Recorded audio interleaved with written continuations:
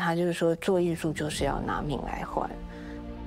我想他对艺术的追求哦，那标准是不会变的。他自己承受了很多的一种别人不能了解的孤独。他是是很冷静的。呃，如果我我会发飙，一句话去形容利群，我觉得就是收放自如啦。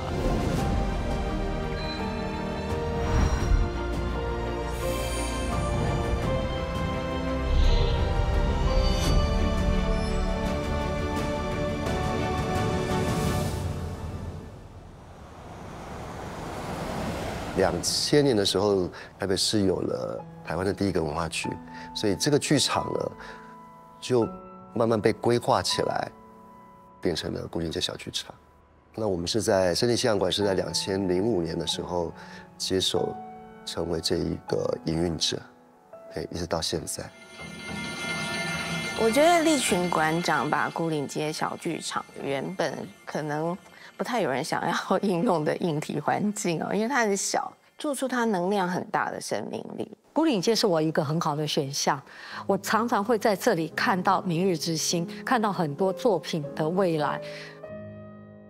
在十几年前哦，我就常常在小剧场，他们跟外国交流啦，什么啦，啊，姚立群也很努力在做这一块。比如说，第一个南城威采课，我们就去到了法国的马赛，到北京。到第二年，我请了王莫林老师自己做希腊悲剧改编的这个《安迪冈尼》。那我们用的三个地方的演员，台湾的演员，也有北京的演员，再加上韩国的演员。在目前条件之下，能做出像馆长这那么多年下来呈现的一些成果，我觉得是做不到，一般人做不到，不可能做到。